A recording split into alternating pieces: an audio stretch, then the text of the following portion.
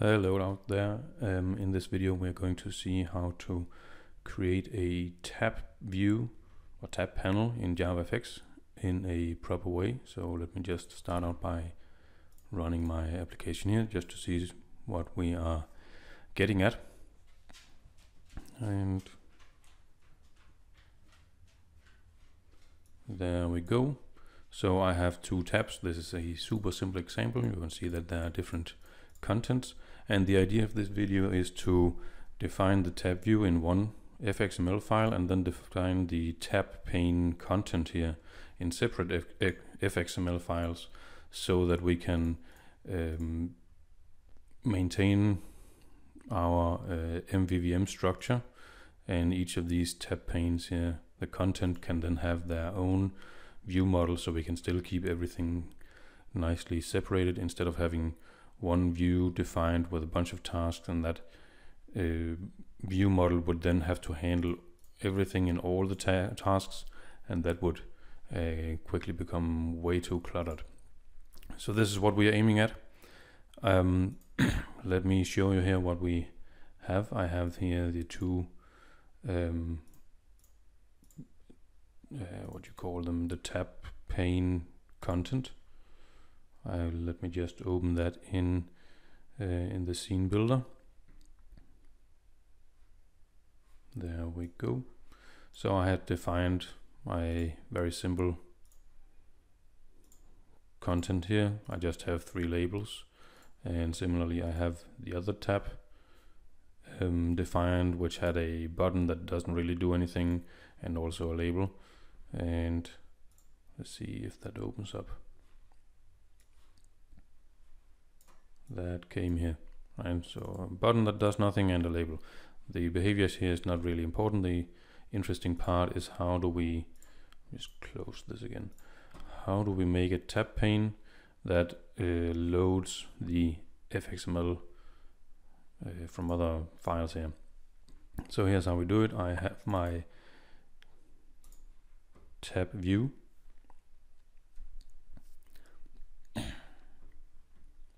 which will open shortly. There we go. Okay, my tab view. Mm, it actually contains the two. That's interesting. So it knows about that. So initially I just created the tab pane and um, I have my two tabs and that's basically it. Now if I write tab here, in my scene builder, apparently for some reason I cannot just draw this and add a new tab and I haven't really figured out how to uh, add multiple tabs from over here. So I had to, well, the scene builder program would crash whenever I had tried to drag a new tab either down here or over here. So what I had to do was to go to uh, IntelliJ and then open the fxml file here and then actually um, add multiple tabs, edit the fxml file directly. So this is what we have to do. If I just create a blank um, tab pane, then uh, this part here will not be present, so I have to put this in myself. I have my two other fxml files, the one with the button and the label, and the one with three labels. And these are the two that I want to load into the tab, so they become the content of each of these uh, tab panes. And I do this um, just like this. I have the fx include. I give it here an ID. This is um, uh, to be able to load the controller. So for each fxml file, there's a controller. Sometimes we have called these the view. JavaFX call them the controller, just like you can see whenever I define a fxml file, I can define the controller class like this. So for my tab, there's a controller class that initially uh, I don't do anything in this one. It's not very interesting. I have another example later on. So I have my tab view. I want to include the content of one fxml file and the content of another fxml file and I do this. So I have the fx include. I give it an ID here. This is the name of the controller.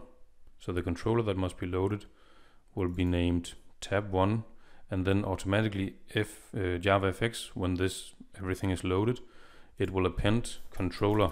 So the real name must it will end up being like this, but I just give it the ID without the controller, and then it will find the class named tab1 controller, which is over here, and and load that as the uh, controller. I also have a source. This is where I find the fxml file. So this is uh, relative to where my where, where this XML file is loaded uh, is, is located. Then I indicate where the fxml file I want to include is located. So I have to go into the tab1 folder and find the tab1.fxml file, tab1 folder, tab1 fxml file. Same thing for the other one. I use the include tag here. I say the ID of the controller for this fxml file must be named tab2 controller. So I have that class over here, tab2 controller.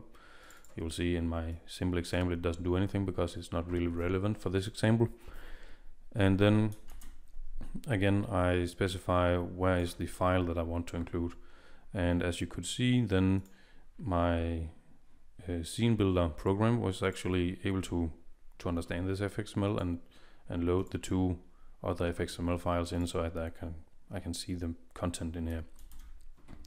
So the important part is you want the name here tab 2 to be identical to the controller you want to load tab 2 controller and then let's take a look at the tab view controller so my tab view specifies a controller here, this controller. And in here I have a reference to the tab pane itself. I have reference to the tab, uh, the separate tabs, this tab and this tab. You can see that I have uh, added the FX ID here, tab 1 called tab 1, tab 2 is called tab 2. I don't really use it for anything in my example, it's just that, that maybe it's interesting to reference the two tabs. And here you will see that I have the controllers. So the controller that is loaded for the two other included fxml files will be injected into these two. So you will see that tab 2 controller matches the tab 2 and then because controller is automatically appended I have to call this controller here. And then in my init method, I can then initialize the two controllers. So uh, that's how we set it up. There's not much to it. I just have to create a tab. I have to include these two and that's basically it. So I guess that you can use the include here in multiple ways. If you don't have a, a tab pane, but some other pane, I don't know what you could otherwise have maybe some kind of uh, grid pane and, and in each grid box you want to load some fxml file then you could use the include tag. Um, so it just means that we are able to define different parts of our GUI in different fxml files. So use the include keyword. If you want a controller for that which you usually do then use the fxid here and name your class controller. Uh, maybe that's not actually necessary, but it's just necessary that you match the uh, variable name here. So tab1 will become tab1 controller. I don't know, you can play around with that. And then the source uh, where you have to load the, the included fxml relative to to to the path of this XML file. Okay, so this was a super simple example. The I have a slightly more interesting example which uses the model view view model structure. So it is a um, suggestion on how to do that. Let me just find this one just so you can see what I have done. I initially had this program here um, great. Okay, so we are back on. I had some uh, mistakes in my program because I refactored too aggressively earlier. So I had renamed some stuff. But this is uh, the program that I took as a starting point. You'll see that I have three uh, views, stages actually, and uh, occasionally the data is automatically updated by some uh, thread running in the background. So I took this program and I copied the code and I turned it into a um, an example where I had the three uh, views in uh, what now? Okay, so um, another mistake due to aggressive refactoring, but this is what we have. I have the same three uh, charts. Once in a while, the data will get updated. Just see how that happens, right? And I can also update stuff myself. Save pie chart will show that. So I can swap around. And I just took the previous program and modified it a bit. So I still have, as you can see over here, I have my bar chart, which is defined in an fxml file. There's a bar chart, axis and stuff. I have the pie chart, which is defined in a separate XML file. Here's my pie chart. And I have my text chart, which is also defined in a separate fxml file. No idea why I have all these. They're probably not necessary, but they're empty, so never mind. Um, so this is the interesting stuff. Oh. Okay, so I have the three charts defined in their uh, own fxml file, and I wanted to create a tab pane. I have that here and include them. So I have done the same thing. I have created a simple uh, tab pane. Here we go. I have created tabs. I have one, two, three tabs. This one I call the pie chart and here bar chart and the text chart. And again, I use the include tag here for each of them. I say for the pie chart tab pane, the content should be loaded from this one, this fxml file. And you will see here again relative. So I am standing from this fxml file here. I have to go uh, one level up in my folder hierarchy means up to the view. Then I go into the pie chart down here, and then I find the pie chart view fxml, this one. So that's what we want to load. And again, I want the controller for this fxml, fxml file, this one here. I want to load that and have a reference to it so that I can initialize it. And I do that by having this fxid. I call it pie chart view, and then automatically, as I said before, the uh, JavaFX framework framework will, will put well, append controller here. So the uh, variable name should be PieChart view controller. So let's look at the uh, tab view controller. So this uh, tab view here is loaded together with uh, this controller here. So we have that here and you will see that I have the three controllers for the other views, the bar chart view controller, the pie chart view controller, and the text view controller. And these are automatically injected because of the ID here. Right? So I get a reference to it.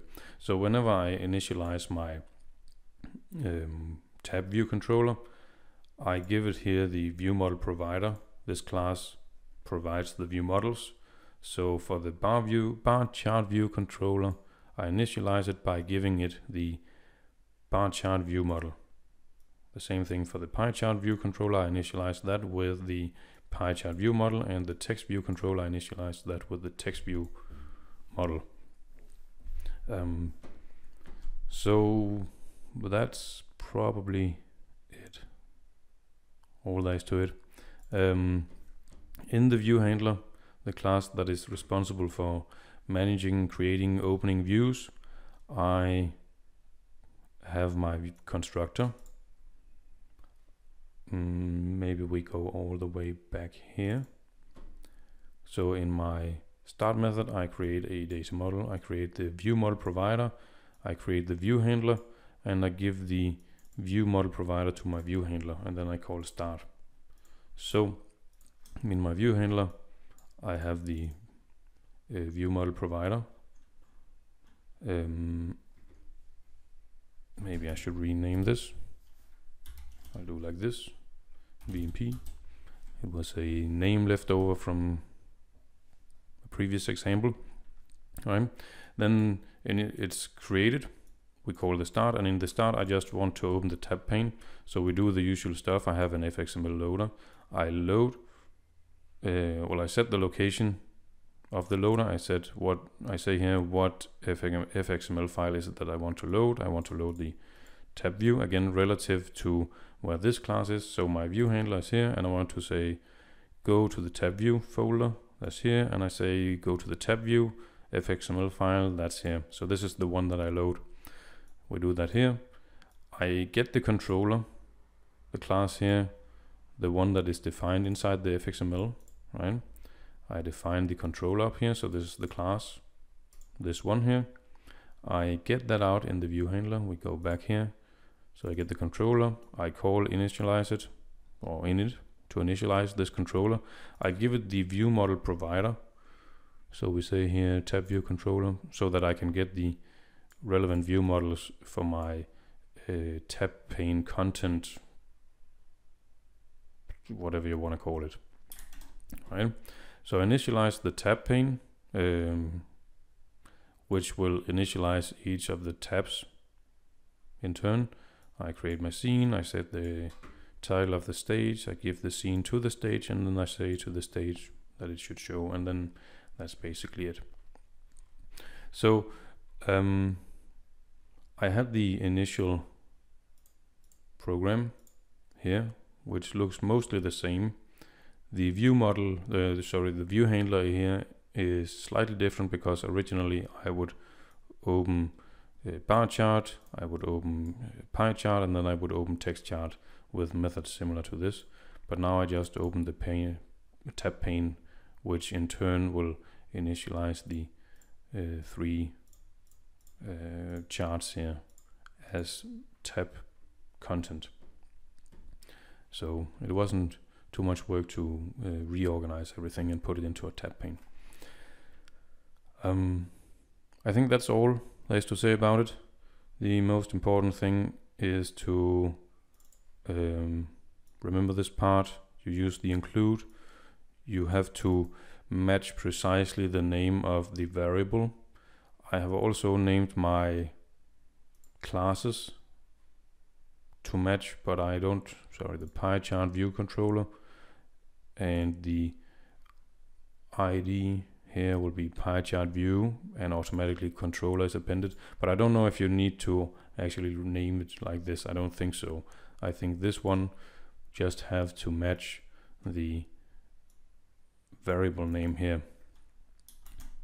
And then you say which fxml file is it actually you want to load and you give it the path relative to where the fxml file here is located. So this one is the starting point and then you need to navigate to the others. So that is all there is to it. Thanks for watching. I hope it can help you.